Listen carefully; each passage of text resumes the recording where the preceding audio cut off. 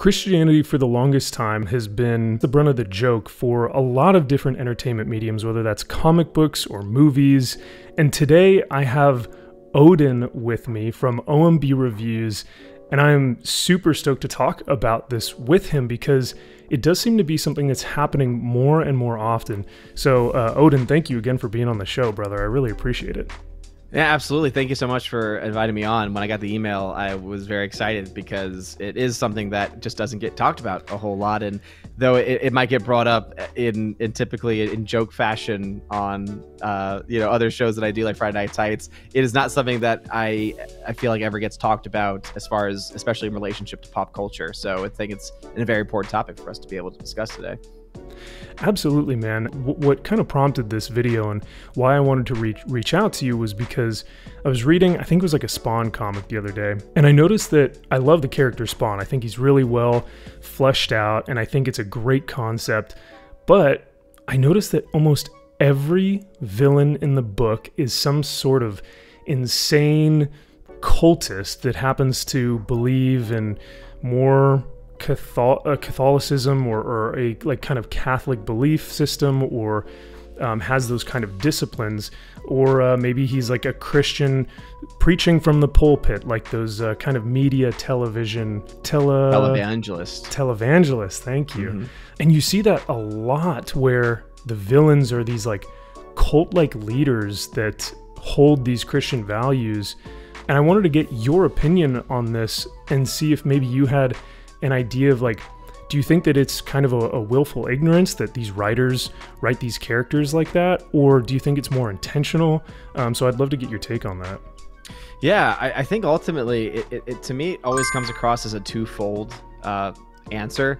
I think for one, it's that Christians are a very easy target. Uh, Christians are a group that you can make fun of, and you don't have to worry about a lot of repercussions. And, and, a lot of that is because of just the very nature of Christianity being rooted in the teachings of Christ about love and forgiveness and mercy. And so it makes sense that the group that's being made fun of is not likely going to respond in a, in a very negative way. So I think that's a part of it is that there's a sense of an easy target. And when you're trying to create, I guess, a character in, in a comic or in any type of, of even film too there's always i think this desire to create this larger than life personality and i feel that many times it's these these these types of you know so, sociopathic behavior right? People who have power.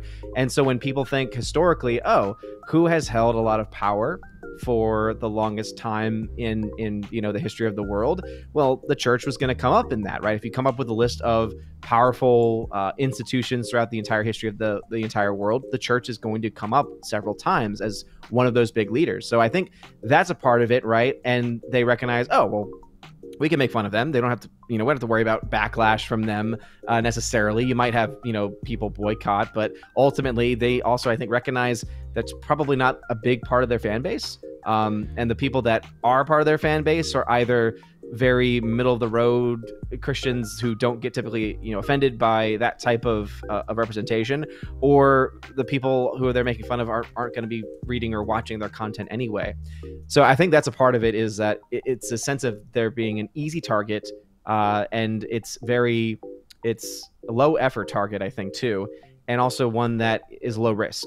They don't have to really worry about ticking off anybody. You're not going to have the Pope come out, for instance, and uh, you know, you know, mention on Twitter that oh, this person, this, this, this, or mention in a speech, oh, this thing, this, or this, or this. Whereas in some other religions and some other groups, you might actually have to worry about that type of, of backlash, right? With especially the age of cancel culture that we live in. It's mm-hmm. interesting mm-hmm. that the one group that does not really participate in as much cancel culture in the proper sense of the term is the group that is the most often, seemingly the most often uh, that's being presented in this way. So, right, so yeah. part of it, I think, is just being a, an easy target in that way.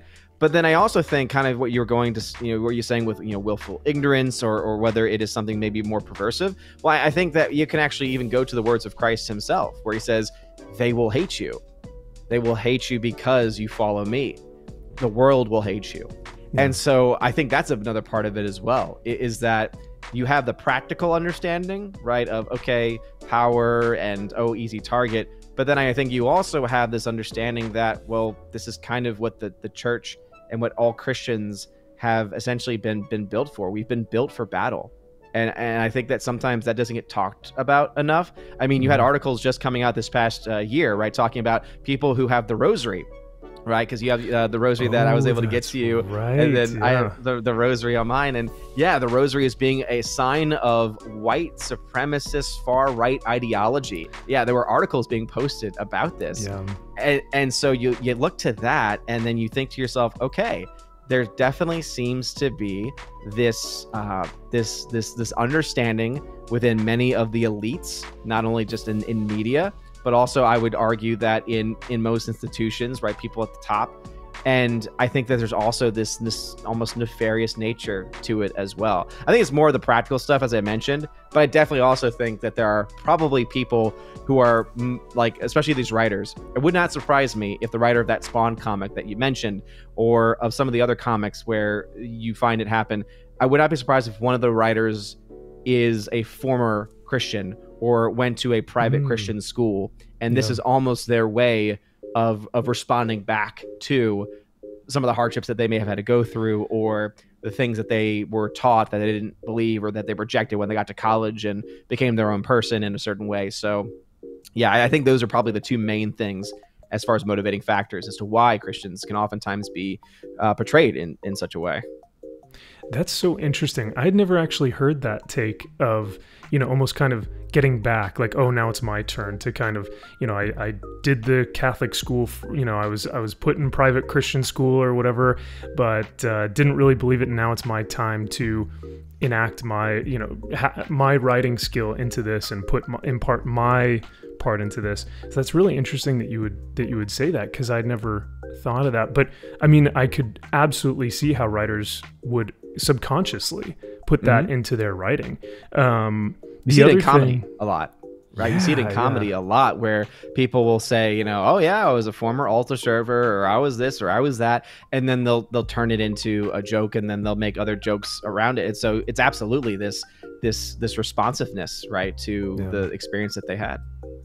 There's so many great points that you made. I think the first one that you talked about was essentially how if it is kind of something that is this willful willful ignorance it's because it's a, a larger target and christians won't really tend to respond i know the first thing that comes to mind is what a lot of christians will probably say is like turn the other cheek you know it's a common phrase used within you know the faith is like it's always just oh well if if someone hits you on this side of the face, turn the other cheek, allow them to do the same on the other side. But you brought up um, the verse where he, Christ almost talks about how, as you are persecuted, like I am persecuted, be almost not grateful, but in a way understand that you will be persecuted because of the people who hate me will also hate you.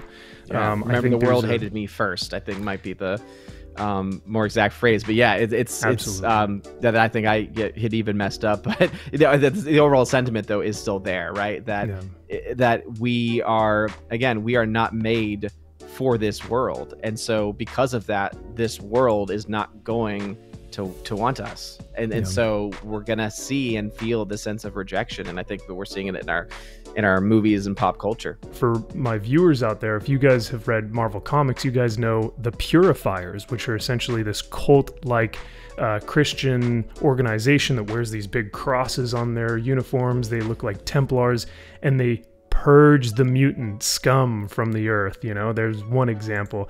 You also have uh, literally, I kid you not, in X Factor number 17, the the right.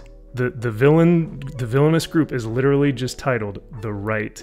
Uh, also yeah really creative a little, a little stuff on the nose right? there right? Yeah yeah. And that's also kind of your point of having this large target. It's lazy. It's so lazy. It's like very lazy and Um, it's a softball way of like writing in these villains of like, you know, I can't really think of anything. Let's just make them Christian cultists. You know, like it's just yeah. it's becoming a trope now where it is so recognized that it's uh, it's frustrating. Now, on the other hand, like you said, this could be more intentional when you have those articles coming out specifically attacking those people, those groups, and saying if you are associated with this faith, you are also associated with far right ideology or you know whatever it is. Um, which brings me back to those characters, like literally. A, a, a villain called the right is a little bit on the nose, but you kind of have to ask yourself and try and get into the head of the writer and go, was this just because this is all you've known? Like, is this something that you've grown up just thinking that all Christians have this type of negative connotation to them? Or have you gone out of your way to kind of, like you said earlier, kind of get back at at religion and being like, I hate what they're doing, and so this is my chance to write them as yeah. this enemy, right? You know, I, I kind of would be interested actually to, to know more about the background of some of the writers because it wouldn't surprise me if they're like where they grew up. Um, I don't know why, but I feel that especially it's especially more true, or at the very least, it is much more of a um, stereotype that the Bible Belt, right? Mm-hmm. That if you're in the Bible Belt, you tend to find more I guess you could say, more fundamentalist understanding. So those that will actually read the words of St. Paul especially with his comments about the submission of a wife to a husband like people who will find that and and will will take that in a much more literalistic fashion um, in certain regards i would not be surprised if a lot of the writers that are coming up with these different stories came from that background hmm. because it's or or even just if it's from a very traditional catholic background too because it's it's something that is it, there's more there to push back from, right? I, I wouldn't I don't think any of them would be from casual faith-based backgrounds or even just casual atheistic backgrounds because again they wouldn't have the experience they wouldn't be growing up with it they wouldn't be because again what do writers do they write what they know Mm-hmm. typically, right? They, they write what they know, they write what they've experienced. And so when you mentioned the purifiers, I immediately was like, oh, yeah, that's an easy target because, mm-hmm. oh, what we know everyone hates the crusades right? That's a general uh, point in history that everyone agrees is is terrible even though if you actually looked into the actual history of the crusades you realize it's a lot more nuanced than that. But it's interesting though that it's like yeah as soon as you see people with giant crosses on what do you think of? The crusades? Oh the crusades are oftentimes viewed as being very bad and very corrupt and so therefore oh i can now use this experience that i have to understand the mindset of this villain group. And so the writer, in many ways, is actually getting exactly what they want, which is familiarity as well. Because what is more familiar in the world than the cross? You, I think you had mentioned um, before, right? There's over 2 billion Christians in the world. And so if you think about just audience base, you're going to at least have a handful of people reading comics that are Christian. So they're going to be able to recognize that right away and say, oh, okay, I get this.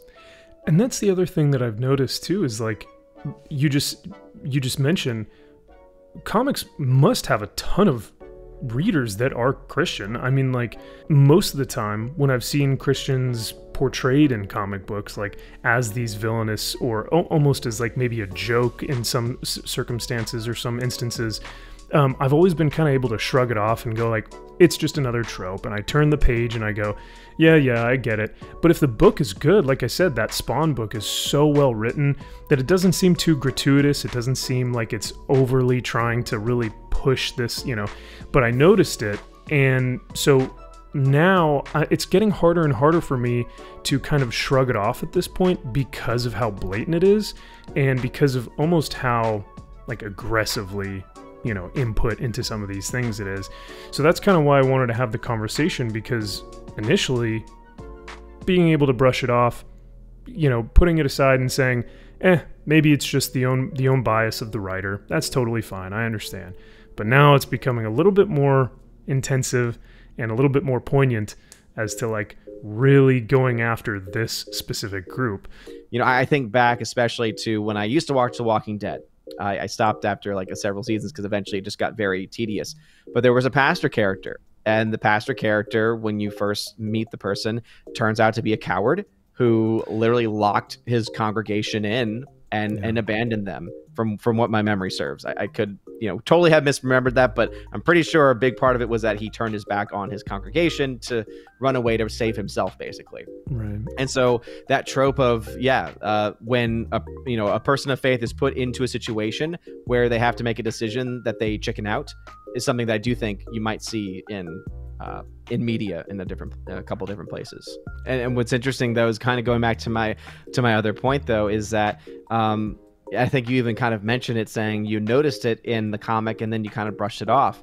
But mm-hmm. again, that that's kind of just how we're built, right? We're, yeah. we're we're built to, you know, when we get struck on one side to turn the other cheek. When we're we're called to to to you know to believe in in in God's infinite mercy and love and and to to think of the best of others to the best of our ability. And so it's one of those tricky things where talking about it, bringing more attention to it, is going to bring more eyes to it. Maybe bring some people to say, "Oh, actually, I never thought about it that way."